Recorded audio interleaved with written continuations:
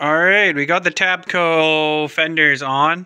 Uh, had to redo the back section um, there, just because uh, the other one had, I guess, indents for the bumper, and um, it still was wrapping around way too tight.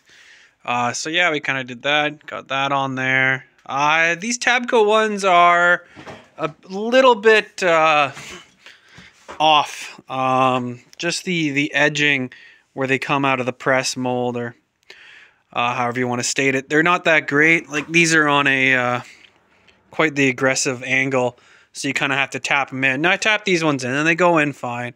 Uh, I hit these all flat here, and they seem to be all right. I mean, it's it's not perfect, but it's leagues better than what was on this car, because uh, that's what was here. That's really the only bit of metal that was that was on here. The rest was rusted out. So I mean, I'm happy with this, and uh, we went through all this work to put on these new fender arches and then we're going to cut most of it out because we have these ZG fender flares that we're putting on but I needed the metal here and uh, I needed the bottom section there and the bottom section there because the ones that were on here uh, that came off the other parts car this section this wraparound section were completely hooped. Um, they had them on an angle like that. It was I, I don't know why they did it but uh, it doesn't matter because I, I'm the one having to deal with it. So yeah, we kind of got them on. Uh, these would probably would have fit a hundred times better if this car wasn't so fucked. It doesn't look that bad right now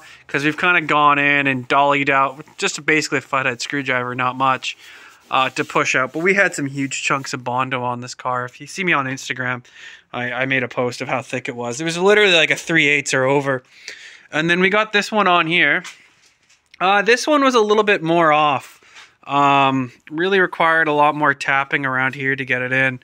Uh, and you can see that on the video. But uh, yeah, I mean, it's in there. This one had longer extension pieces on that and it didn't wrap around very nice. So we kind of had to put it in, then get a screwdriver and pound the screwdriver in to, to suck it up tight.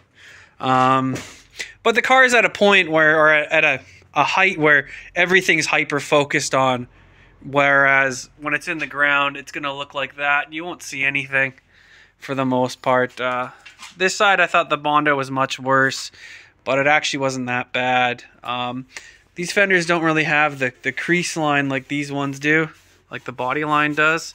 So, I mean, we're probably just going to have to get rid of that crease line and uh, not care. And I still have to uh, to redo this, cut it out here, and then uh, or probably cut it out there and I'll just pocket that little section with another plate or some Bondo and then uh, fill in the gap. But yeah, you can still see on this one how much it was still kicking back and it wasn't done very well. Um, not that this is primo, but we'll grind it down and it'll look a lot better. Uh, welding with the Bondo, and if you've ever welded these on, uh, they kind of have like a inner lining of tar type uh, seam sealer and it starts to melt and heat up into the weld.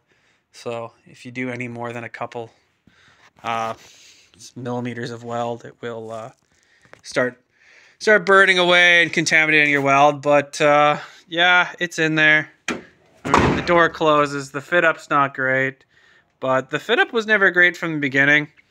And uh, as Finn or Freiberger says, just get it done. Don't get it right. You can do it again later. And that, that does ring true on this car of just just get it done and get it on the road. My wheels are coming on Thursday, so we'll be able to fit the fender flares perfectly on the car and uh, go from there. But uh, still a whole lot of other Bondo and body work I need to do or or not need to do and stop caring. Like I may just literally push that in and smear that over with Bondo and then uh, wait till I can get better flares or better fenders.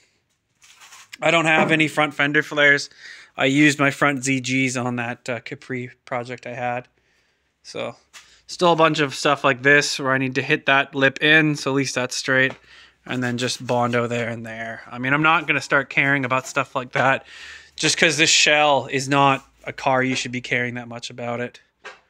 Um, but yeah, I mean, we're we got both the frame rails fixed underneath.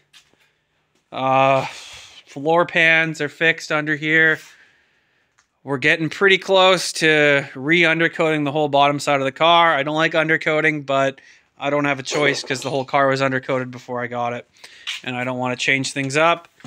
Um, so yeah, once the wheels show up, the fender flares will go on.